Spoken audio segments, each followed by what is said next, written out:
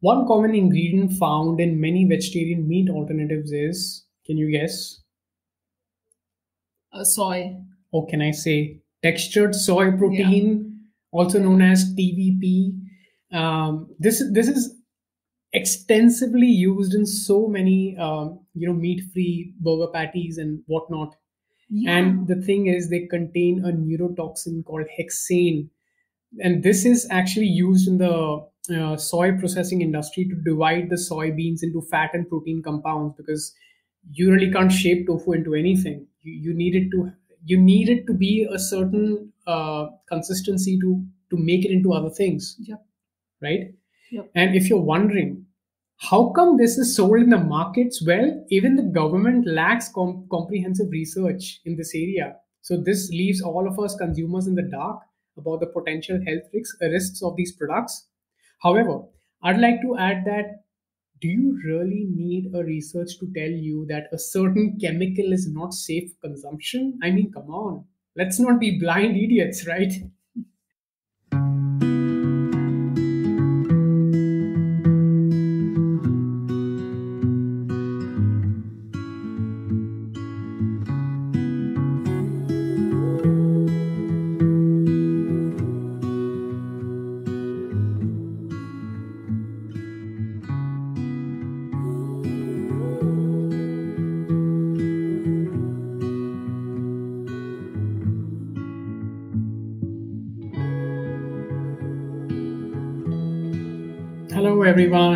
Hi everyone. How are you all?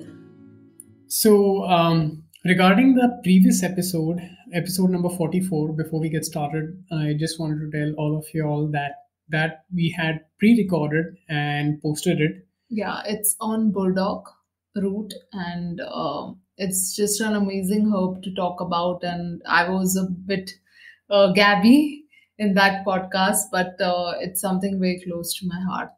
And you will find it extremely useful. Yes. So the, the episode has been posted, of course, on all the major platforms, Spotify and all the audio platforms. However, it's still I, I still have to post them on YouTube, LinkedIn, Facebook, elsewhere, wherever you are listening from on in the video version of it. Yes.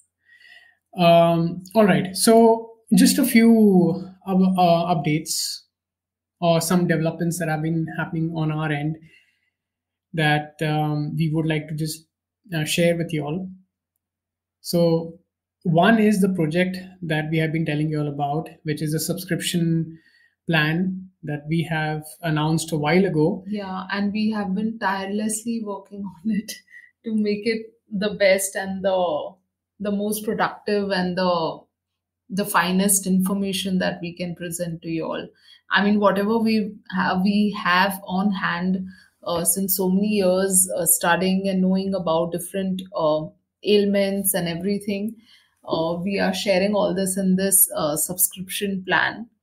That Yeah, and our goal has always been and is, is always will be to provide you all the information that you can practical information or theoretical information yeah, something that's more tactile.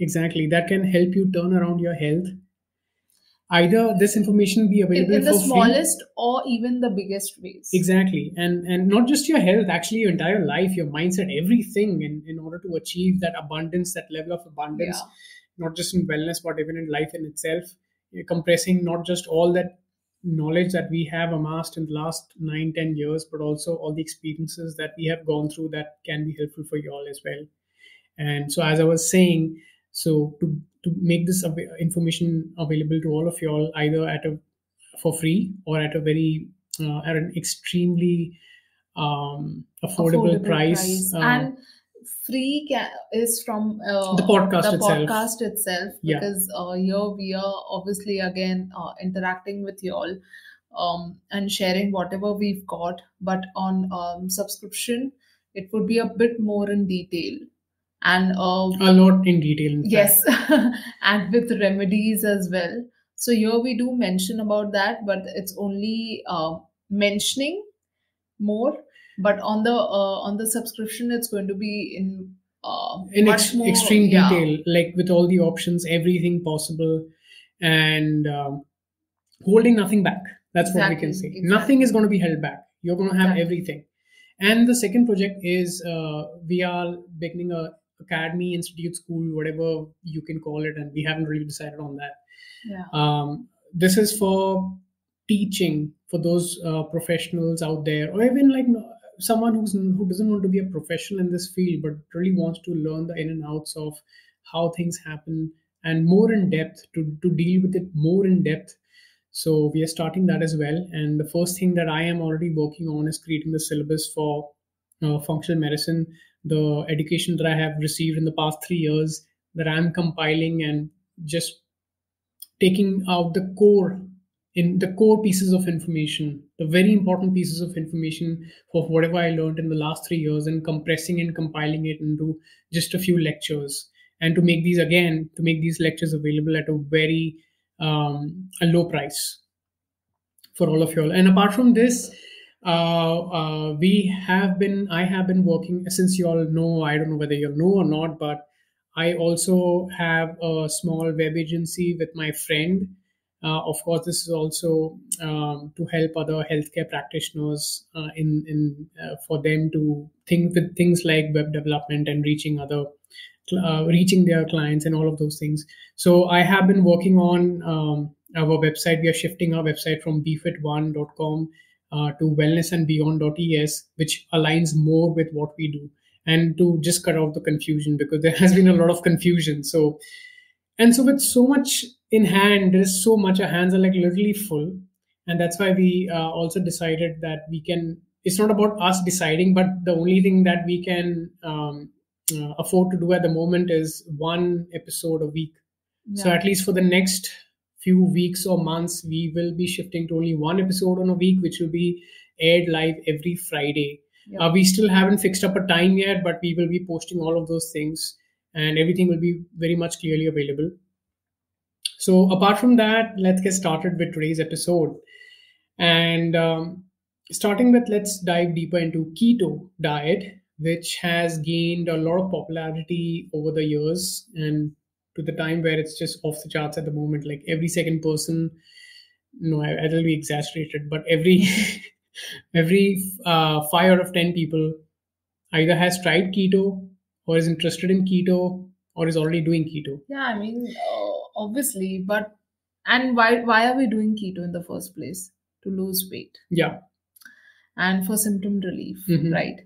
But then it's not without its own consequences because um, one thing that's crucial to mention is the role of the liver and bile secretion. Because we also have to digest fats and it's a high fat diet at the end of the day. So without a proper functioning liver um, we cannot do keto. It's Yeah. just next to impossible. I mean you would be gaining weight the very reason you were actually using this diet for your own good. And let's not- weight. Let's not forget the thyroid function. Yes of course I mean, uh, long-term keto dieting can lead to down-regulated uh, down-regulation of thyroid function, which can have a whole lot of the consequences as i mean your because your thyroid function is again uh, connected to your endocrine system Yes, right so it's also impacting your other hormones exactly. Yeah. Like your uh, estrogen your testosterone. So HPATG axis. exactly And and it's not just keto. When we talk about uh, any low carb diet, for instances, there's one more thing that comes with it because um, of constantly dipping blood sugar levels due to low carb intake. uh, This this can trigger stress hormones, which in the uh, like in the long term can really leave the person depleted.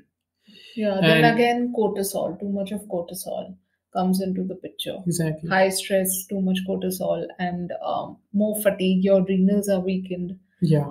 So and again that is also not just the blood sugar it's impacting it's also impacting your uh, other systems as well Yeah, and your liver is not working well exactly, and it's completely taking out of the equation the flexibility of the metabolism, that's true right? yeah Um, see, when a diet is used therapeutically, like in cancer, for example, keto diets are used. That Yeah. is that is fine because it's used for a short term. Even even in alzheimer's Even in Alzheimer's, or even when people have certain uh, sensitivities or stuff, food sensitivities, uh, or, or gut dysbiosis. Mhm. I mean, there are a lot of diets, but the point is, um, as long as it's done in the short term for a for a specific cause, it is fine. But nothing should be made. It's impactful. Yeah. But then, uh, yeah, it shouldn't be longer than uh, Yeah. The set time, right? Exactly. So it's it's actually like putting a band-aid on a wound without addressing the underlying issue. Yeah, that's true. And obviously, I mean, uh, it's like you are eliminating an entire food group, like carbohydrates, and that indeed uh, can lead to some improvement. But um, even like, for instance, if there's a specific carb source that was causing issues with your gut, removing it can result in some symptom relief, feeling uh, a bit better overall.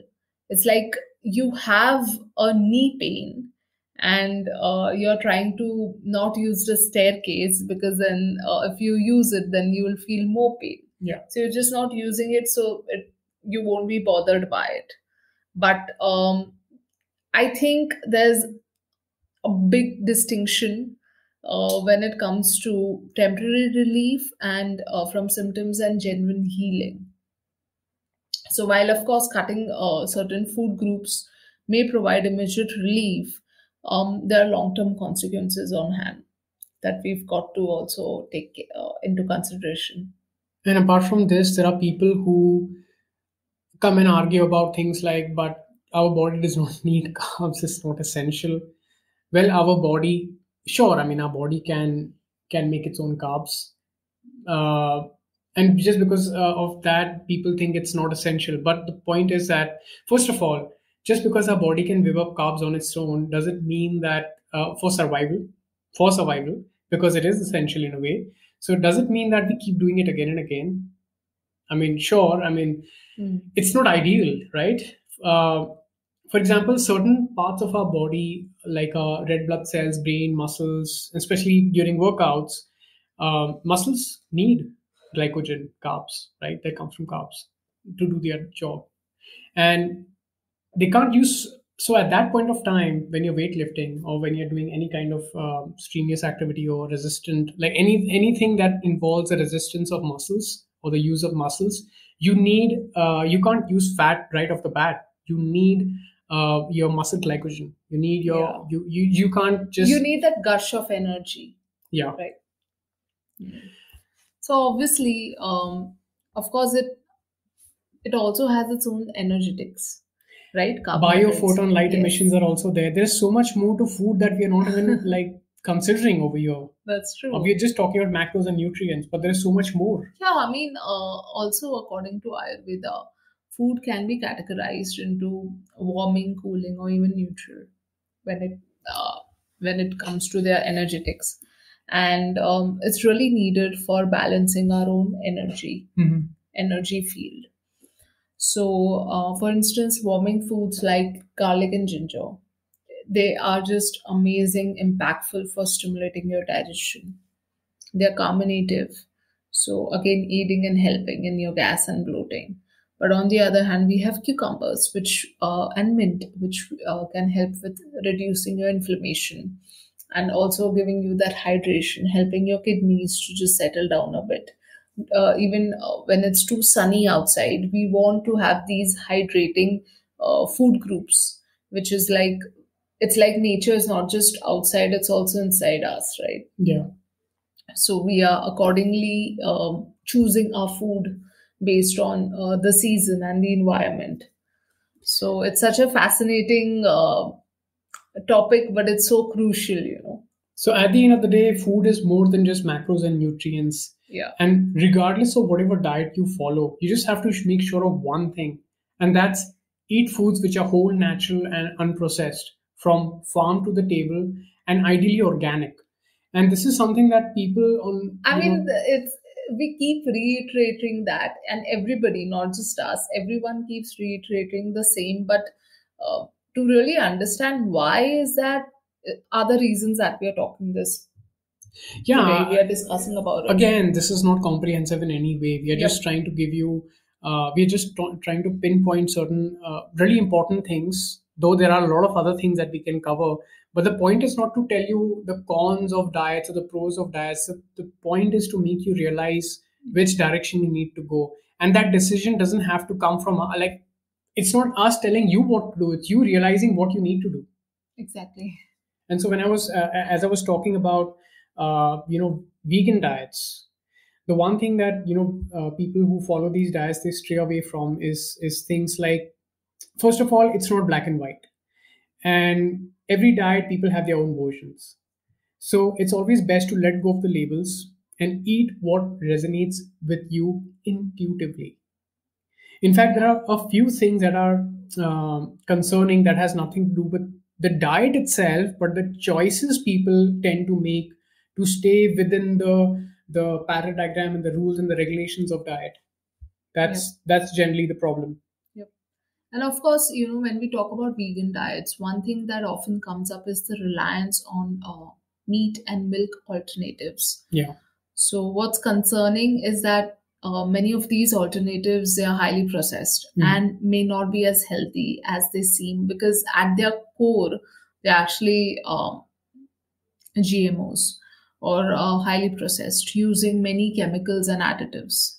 So, I mean, it can be extremely deceiving. And Yeah. especially when we look at cultured meat, it's important to understand its production process that no one looks at. It relies, like in, in this case, it relies on fetal bovine serum or FBS uh, as a, a growth medium, uh, which, which is derived from the blood of cow fetuses. I don't want to get into the details, but it's it's a sobering reminder that even alternatives marketed as cruelty-free may have hidden ethical and environmental costs.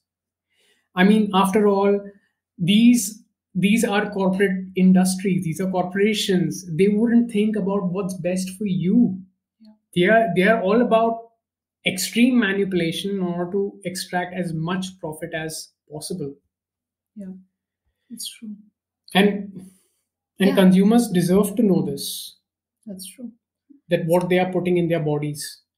And obviously, um, there can be, obvi- and we do know there are impact on our, it's it's impacting our health in so many different ways. And let's not just also forget about the fats uh, in these plant-based alternatives because many of them contain unhealthy fats such as canola oil, which can also contribute to metabolic issues and chronic diseases. So it's a reminder that when it comes to food choices, we need to look beyond the labels and marketing claims. And understanding the ingredients and production processes is really crucial if you're actually going to buy that packaged food. And uh, all the all this is just informing us to make better decisions. And on that note, one common ingredient found in many vegetarian meat alternatives is, can you guess? Uh, soy, Or can I say textured soy protein, also known as TVP?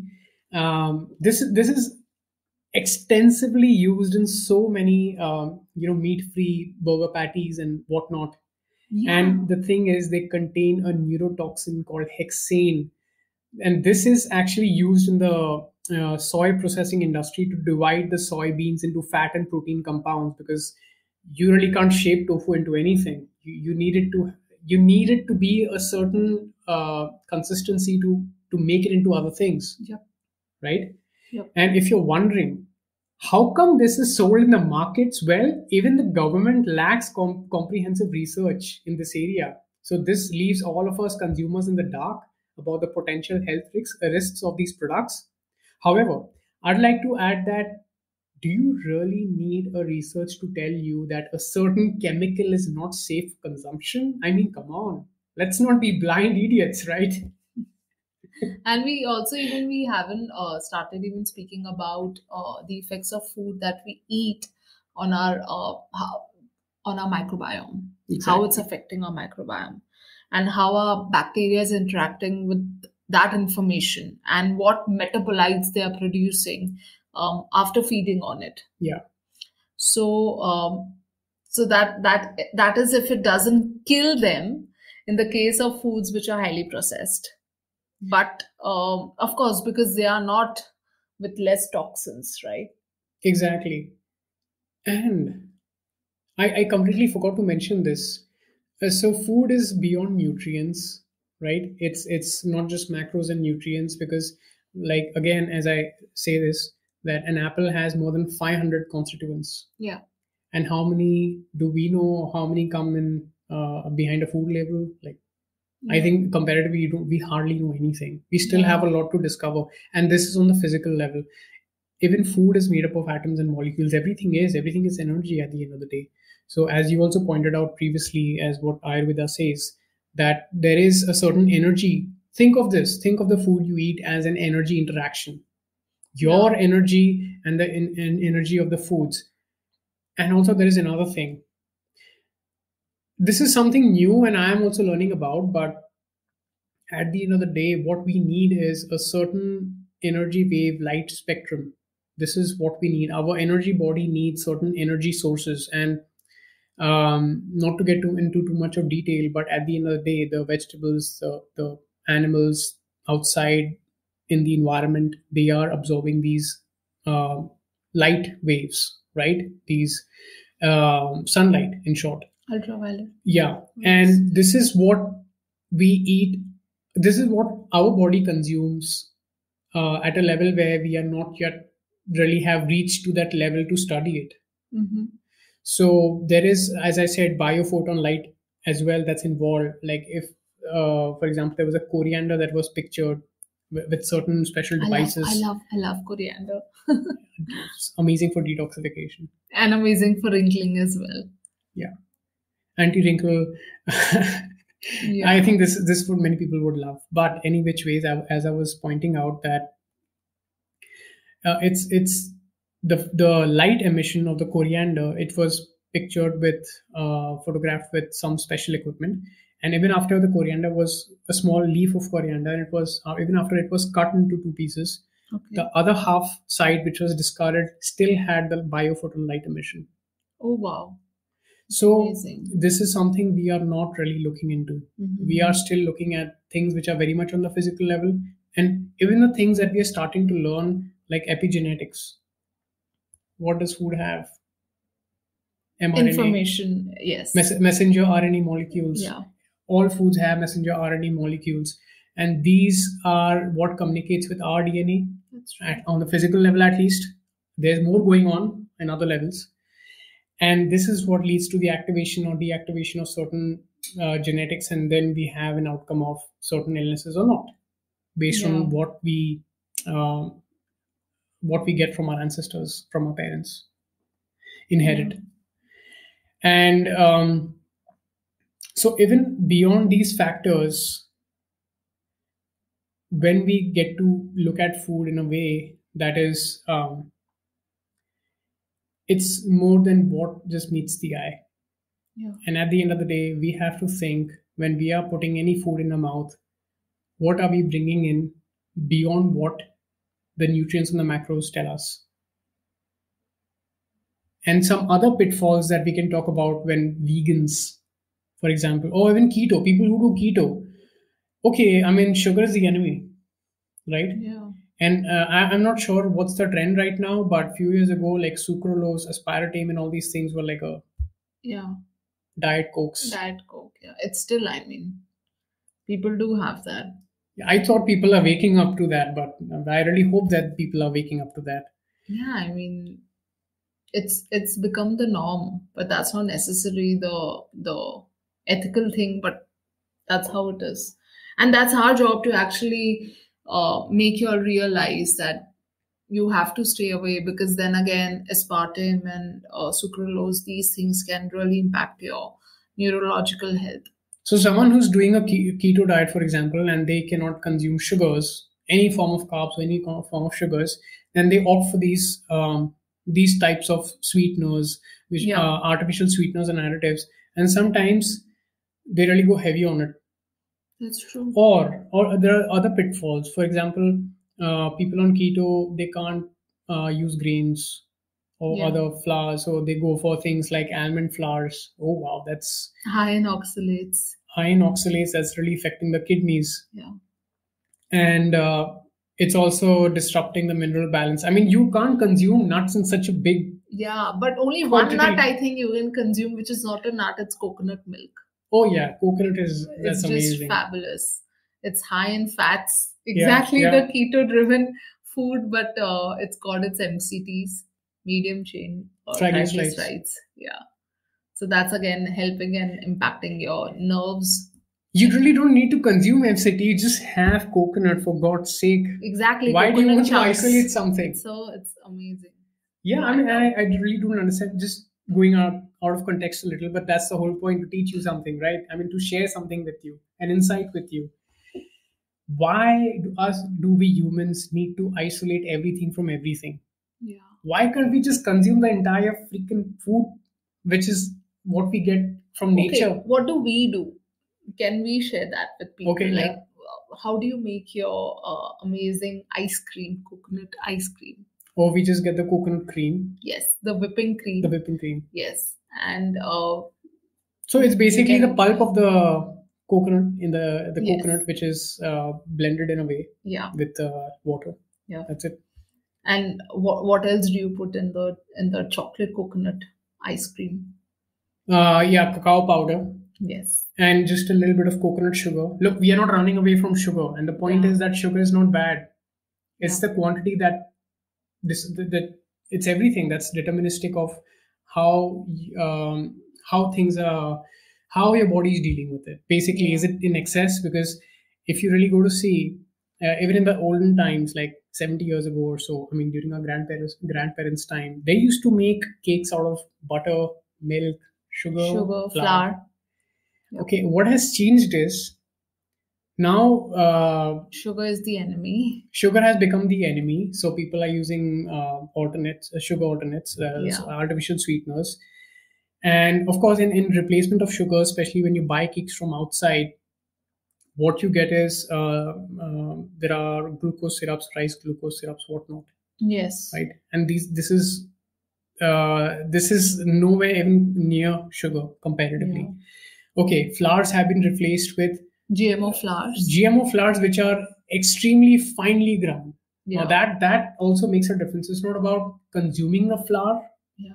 but it's about how is a what kind of processing. Like previously, flours the grains used to be ground with these big heavy stones, so they were hand milled, basically. hand milled, and the the how uh, fine they were. They were not that fine. They were, I think, a slightly denser granules, a little more bigger, and this didn't. This never used to go in our stomach and form like in a very glutinous glue, Yeah. and then stick inside. Which sits in our stomach for a long time. So that's uh, food stagnation. Yeah, and now suddenly we have colors in the picture, artificial colors which are Yeah. nowhere. They say naturally derived or naturally whatsoever. Well, it's no, it's nothing close to natural. Yeah, they have their own legal coding that they use and the point that we are going from here is that you have to not just look at what's being provided you have to look at how it's being processed. Like okay let's say you might get a product in the supermarket that has three ingredients and they look extremely clean but they are processed. Like for example let's take meats for example especially when we go into carnivore diets which is one not one of the topics that we chose for today but let's just briefly talk about carnivore diets as well. So with carnivore diets uh, uh, there's they, they are fed uh, antibiotics a lot of hormones a lot of things. They're also fed gmo corn and whatnot. And that's one thing. And the second thing is uh, these uh, processed meats or daily meats. Yeah. and on the face of it it'll look extremely healthy right? What's in it's just meat. It's just Yeah. meat. It's but the point is the way it's processed the way it's processed does not make it healthy and i could have gone but uh, i could have gone ahead with uh, more details on it but maybe we can leave it uh, leave it out for another episode because we are running out of time as usual uh, so um, anything you would like to add for today uh, what what is I- the I think we summarized Conclusion. it well. We summarized it well. Yeah, so the if we need to conclude on whether these diets, vegan or keto or any diet, whether it's healthy or not, it absolutely depends, on what you pick and choose to eat. Exactly, intuitively. And and our me- message to y'all would be, don't pick labels. Just go with what's natural, what feels intuitive, what's been in your your family like since Yeah. generations, what your community has been eating. Because pick out local foods, seasonal foods, all these things do matter. The kind of quality of foods you're going for organic foods. Hmm. because remember pest laden some of the foods dirty dozens as, as well we have mentioned it quite a lot of times. These foods are at least these foods you should shift away from. Yeah. uh, so that's it for this episode. We'll be seeing your in the next episode next week on friday with another interesting topic. Until then we wish you all an amazing weekend. And uh, be happy and be healthy Bye. Bye.